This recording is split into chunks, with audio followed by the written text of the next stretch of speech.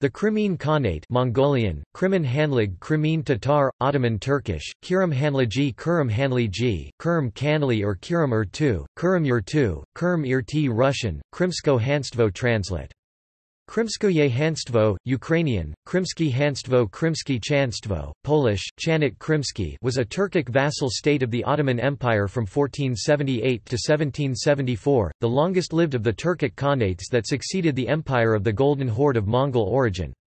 Established by Hasi I Guri in 1449, the Crimean Khans were the patrilineal descendants of Toka Timur, 13th son of Hochi and grandson of Genghis Khan through marriage. Timur married one of Genghis Khan's granddaughters. The Khanate was located in present-day Russia and Ukraine. Ottoman forces under Gedik Ahmet Pasha conquered all of the Crimean Peninsula and joined it to the Khanate in 1475. During the 16th and 17th centuries, the Crimean Khanate was an important center of the slave trade. In 1774, it was released as a nationally independent state, following the Russo-Turkish Treaty of Küçük-Kaynarca, and formally annexed by the Russian Empire in 1783, becoming the Taurida Governorate. Naming and geography English-speaking writers during the 18th and early 19th centuries often called the territory of the Crimean Khanate and of the Lesser Nogai Horde Little Tartary or subdivided it as Crim Tartary also Crim Tartary and Kuban Tartary. The name, Little Tartary, distinguished the area from Great Tartary, those areas of Central and Northern Asia inhabited by Turkic peoples or Tatars. The Khanate included the Crimean Peninsula and the adjacent steppes, mostly corresponding to the parts of South Ukraine between the Dnieper and the Donets rivers i.e. including most of present-day Zaporizhia Oblast, left Dnepr parts of Kherson Oblast, besides minor parts of southeastern Dnipropetrovsk Oblast and western Donetsk Oblast. The territory controlled by the Crimean Khanate shifted throughout its existence due to the constant incursions by the Cossacks, who had lived along the Don since the disintegration of the Golden Horde in the 15th century.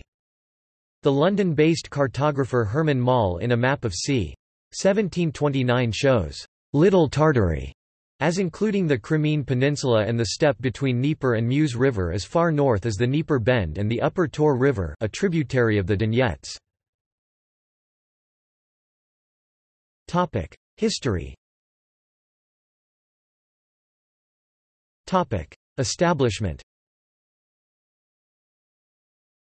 The Crimean Khanate originated in the early 15th century when certain clans of the Golden Horde Empire ceased their nomadic life in the Desht-i Kipchak, Kipchak steppes of today's Ukraine and southern Russia and decided to make Crimea their yurt homeland.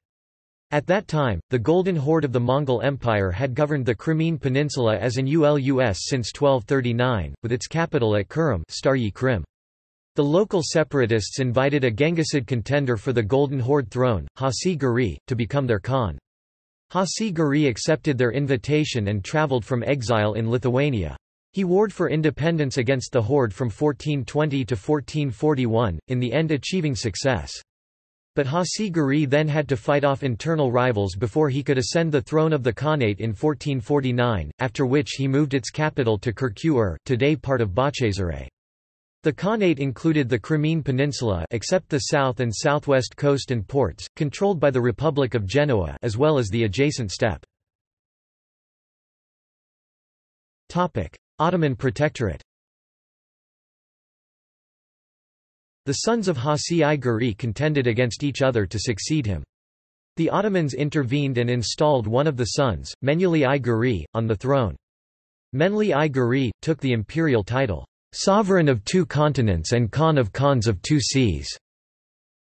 In 1475 the Ottoman forces, under the command of Gedik Ahmet Pasha, conquered the Greek principality of Theodoro and the Genoese colonies at Cembalo, Soldaya, and Kaffa modern Feodosia. Thenceforth the Khanate was a protectorate of the Ottoman Empire. The Ottoman Sultan enjoyed veto power over the selection of new Crimean Khans. The empire annexed the Crimean coast but recognized the legitimacy of the Khanate rule of the steppes, as the Khans were descendants of Genghis Khan. In 1475, the Ottomans imprisoned Menuli I Guri for three years for resisting the invasion. After returning from captivity in Constantinople, he accepted the suzerainty of the Ottoman Empire.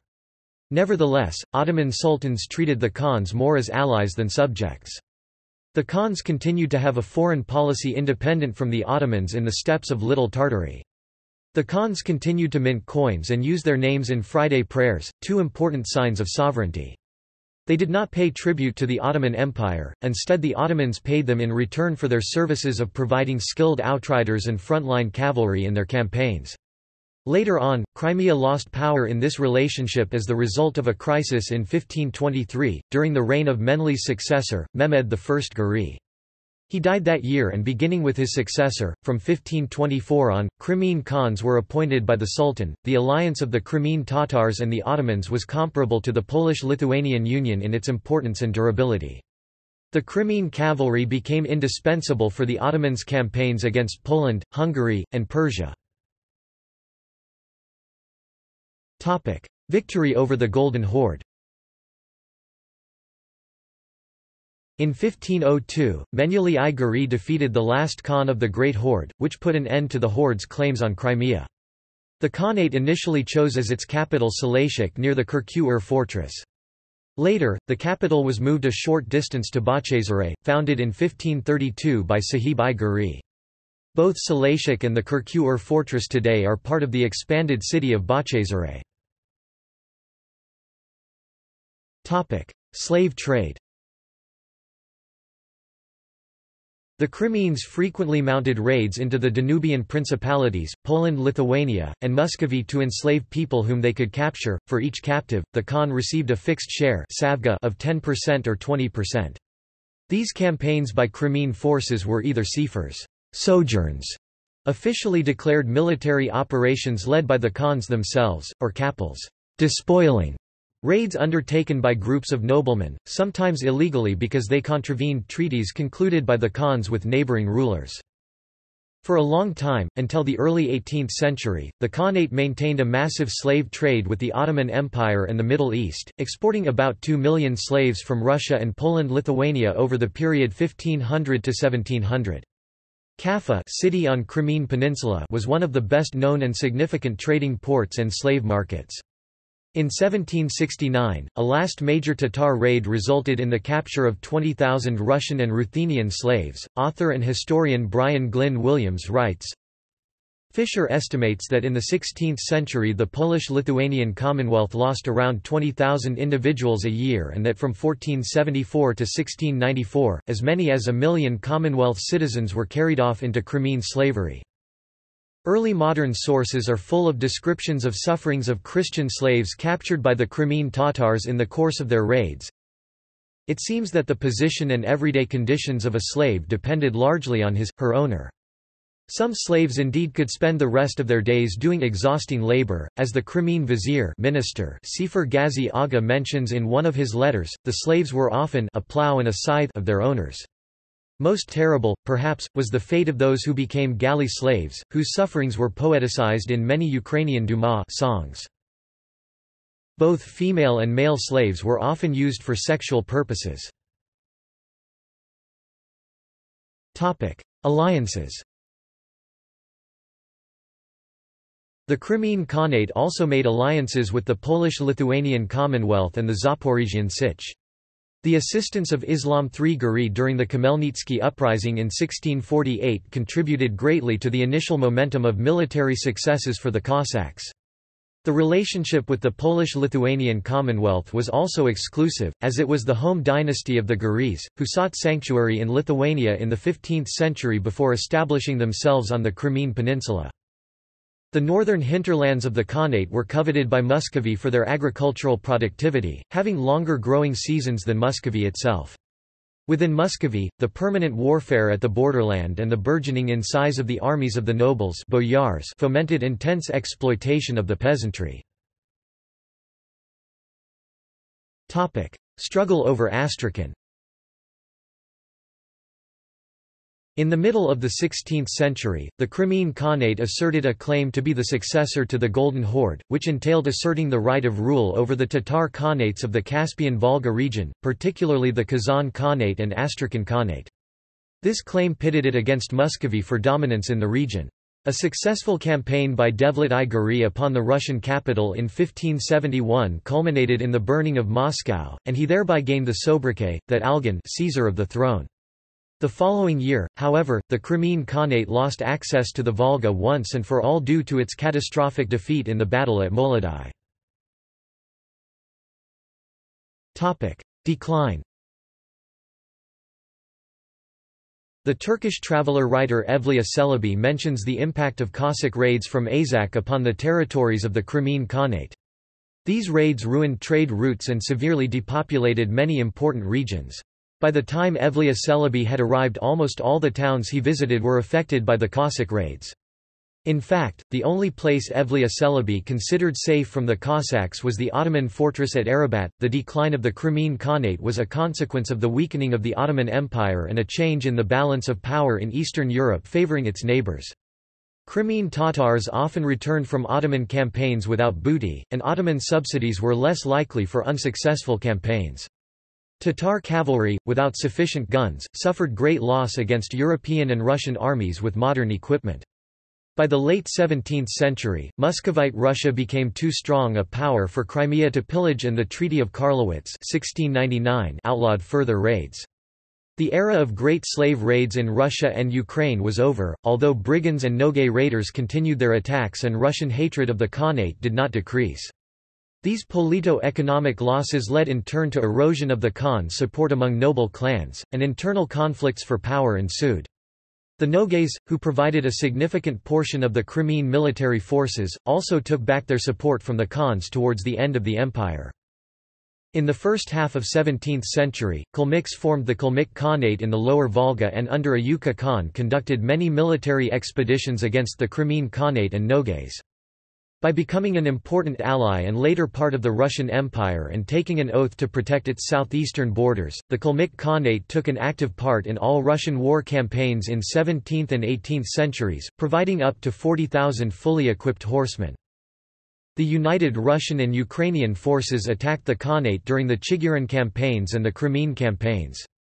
It was during the Russo-Turkish War, 1735–1739 that the Russians, under the command of Field Marshal Münnich, finally managed to penetrate the Crimean Peninsula itself, burning and destroying everything on their way. More warfare ensued during the reign of Catherine II. The Russo-Turkish War, 1768–1774 resulted in the Treaty of Küçük-Kaynarca, which made the Crimean Khanate independent from the Ottoman Empire and aligned it with the Russian Empire.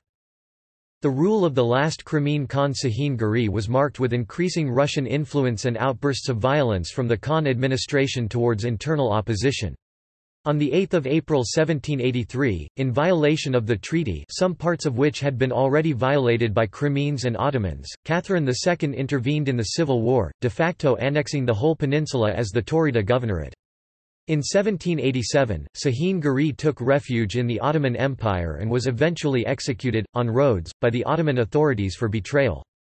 The royal Guri family survives to this day. Through the 1792 Treaty of Jassy the Russian frontier was extended to the Dniester River and the takeover of Yetistan was complete. The 1812 Treaty of Bucharest transferred Bessarabia to Russian control. Government All Khans were from the Guri clan, which traced its right to rule to its descent from Genghis Khan. According to the tradition of the steppes, the ruler was legitimate only if he was of Genghisid royal descent i.e. Ak Suyek. Although the Guri dynasty was the symbol of government, the Khan actually governed with the participation of Karachi Beys, the leaders of the noble clans such as Surin, Baran, Argan, Kipkak, and in the later period, Mansurolu and Sikavut. After the collapse of the Astrakhan Khanate in 1556, an important element of the Crimean Khanate were the Nogays, who most of them transferred their allegiance from Astrakhan to Crimea.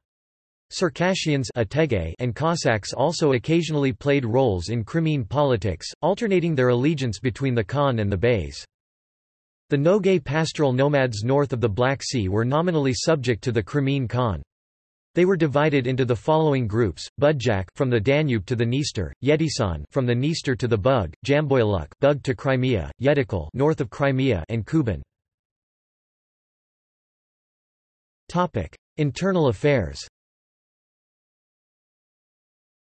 Internally, the Khanate territory was divided among the beys, and beneath the beys were mirzas from noble families. The relationship of peasants or herdsmen to their mirzas was not feudal. They were free and the Islamic law protected them from losing their rights. Apportioned by village, the land was worked in common and taxes were assigned to the whole village. The tax was one-tenth of an agricultural product, one-twentieth of a herd animal, and a variable amount of unpaid labor. During the reforms by the last Khan Sahin Guri, the internal structure was changed following the Turkish pattern. The nobles' landholdings were proclaimed the domain of the Khan and reorganized into kadiliks provinces governed by representatives of the Khan. Crimean law. Crimean law was based on Tatar law, Islamic law, and, in limited matters, Ottoman law. The leader of the Muslim establishment was the mufti, who was selected from among the local Muslim clergy. His major duty was neither judicial nor theological, but financial.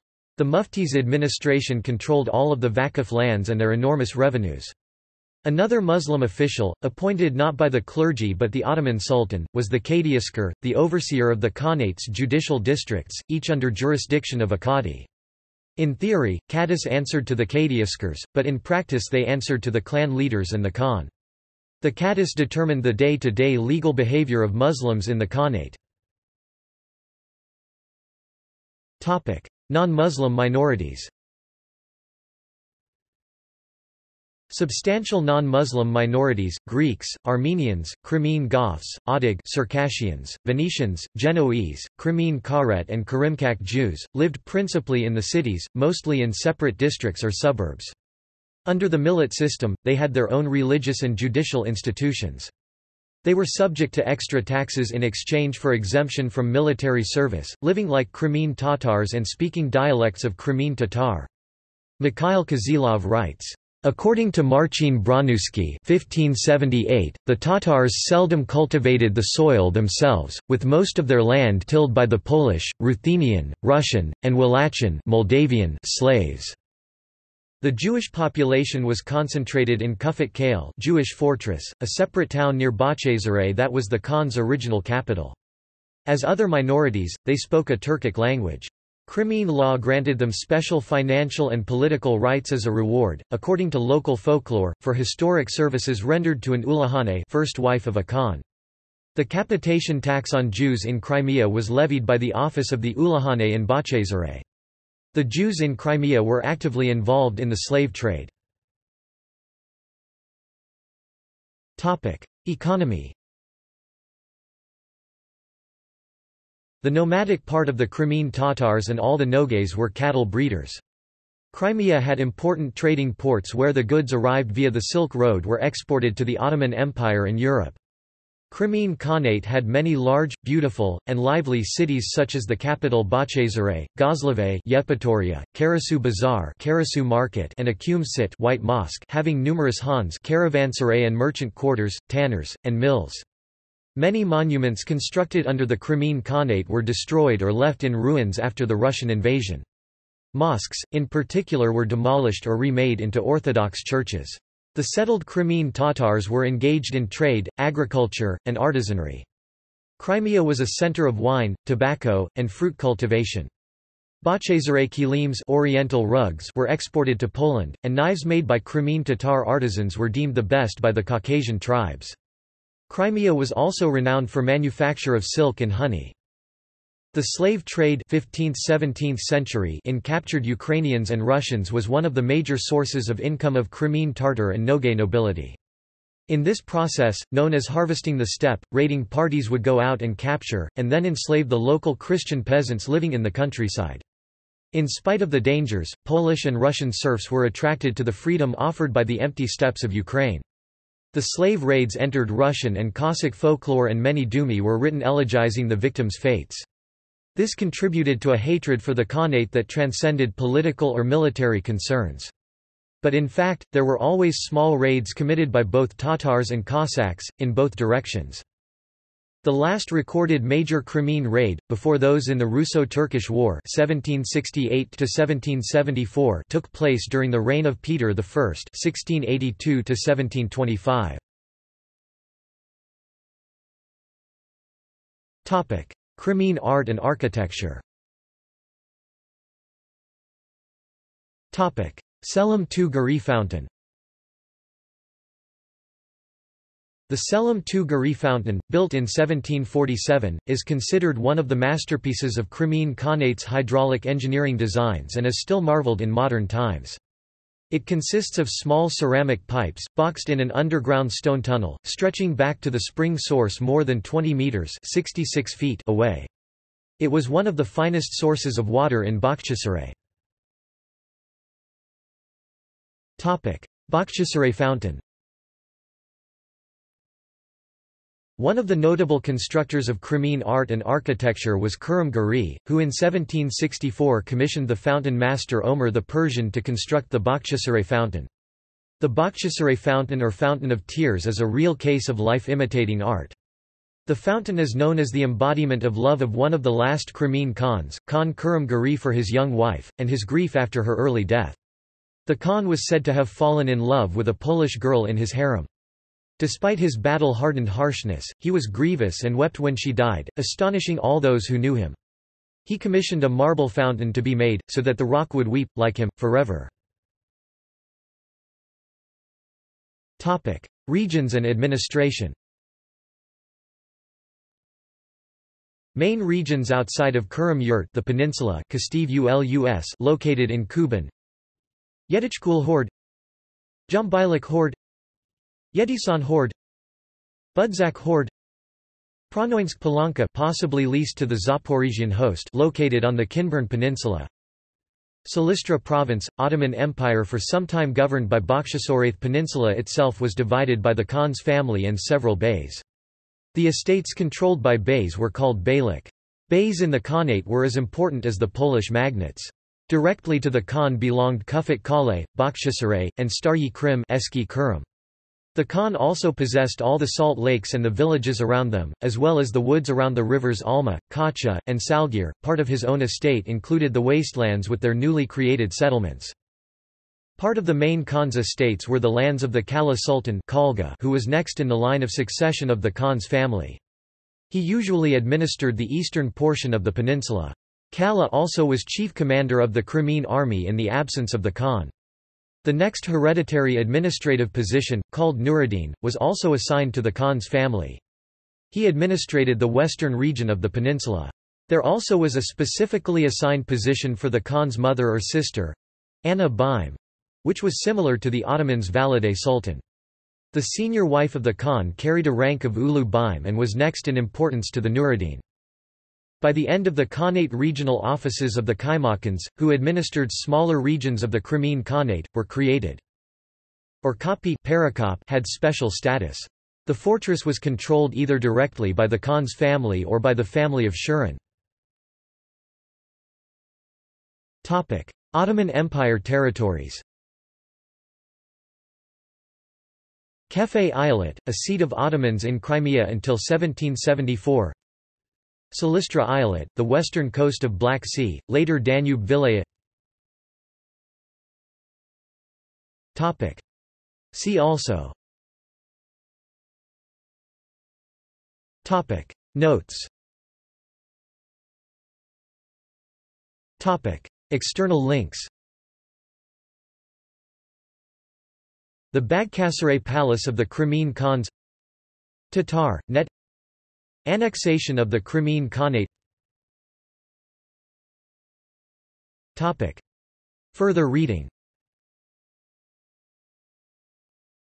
Ivanics, Maria 2007. Enslavement, Slave Labor, and the Treatment of Captives in the Crimean Khanate. In David, Geza, Paul Fodor. Ransom Slavery Along the Ottoman Borders early 15th–early 18th centuries. Leiden, Brill pp. 193–219.